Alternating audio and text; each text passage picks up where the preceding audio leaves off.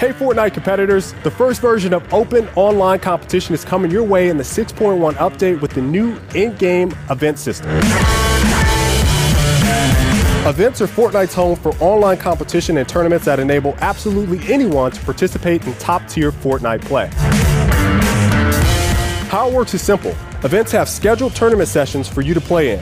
After you've selected one of the tournaments, you'll see when the session is set to begin, so you can warm up or talk strategy with your squad. Just remember, all players must opt in for crossplay to participate in competitive events. Once the session begins, you'll want to make each match count.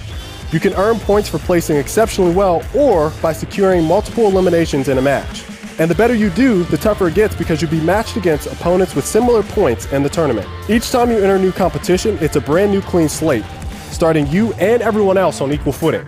So make the most of it. We look forward to expanding on this new feature with prizes in Fortnite's event system. So we'll see you on the battlefield.